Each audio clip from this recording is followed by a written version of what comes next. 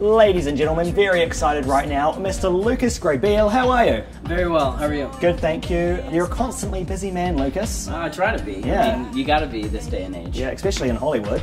Um, what's TV like at the moment? What are you doing? Uh, so, uh, Switched at Birth, we just finished shooting our uh, second half of our fourth season, 4B. And uh, it's a really exciting um, season. Of course, there's always a lot of drama and, Yeah. you know, teen craziness. Yeah. Uh, but I'm not a teen anymore. I, I actually turned 21 on the show, which Right. I'm really excited about because I'm 30 in real life. Because I was going to say, you're always playing the younger roles, which I Yeah. guess in Hollywood is a good thing. I, I think so. I mean, I've graduated high school many times. Yeah, no, 100%. Yeah. Which I, you know, I'm finally happy that I'm like, okay, I've finally, I've, I've reached college age, which is great. Um, of course, we've got to talk about High School Musical for a second. You had a mini I don't reunion. talk about High School Yeah, no, yeah, no. What is that anyway? um, but you had a mini reunion the other day. Yeah, yeah, we went and see, uh, we went to see uh, The Descendants, um, the new Disney Channel um, movie musical, and uh, yeah, it was great, with the exception of Zach and Vanessa. Because they were um, unable to come, everybody else came out, and it was really great to see everybody again. I mean, I, I we all keep in touch pretty uh, pretty well. Um, I see Corbin all the time, and occasionally I'll see uh, Monique and Ashley. Um, but yeah, it was really great to get everybody back together again. Do you remember the moment where you realised I am part of a phenomenon? You know what? There was probably many moments because the first few I didn't believe it. You know, like it was one of those things where I, I remember um, a friend of mine from my hometown called me and said, "You're number one on iTunes," and I was like, "That's got to be a mistake." I mean, maybe maybe in your town or something Yeah. like what? No, no, and and we, we started breaking records right and left. You know, Billboard, and you know when we were the number one selling album in the world, it was like, okay, yeah, This is I- something. I, guess this is something. Ten years ago next year. Yeah. Um, if you look back on that, what would you, what would this Lucas say to that Lucas? Um, get ready. It's gonna get crazy, and enjoy the ride. Yeah.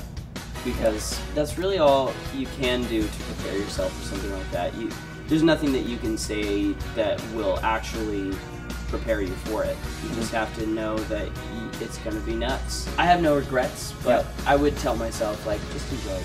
Yeah. Like, don't don't worry about if you deserve it or not, or or what this world is like. Just just go with When it. someone hands you an opportunity like that, you take it. Yeah. You know what I mean? Like it'd be silly not to. Um, this is the part that I'm very excited about. okay. Now you see, I just like everyone else my age grew up watching you. Ryan always being my favourite character, and I had a phase of sending fan mail, and I sent you a fan mail, and I have it here right now. And I'd like to read it to you if that's okay. Of course. This is a fan mail letter that I wrote in 2009. I had just turned 13 years old, and it's extremely embarrassing. And when I heard that I was interviewing you, I thought, I've got to find this. And I finally did.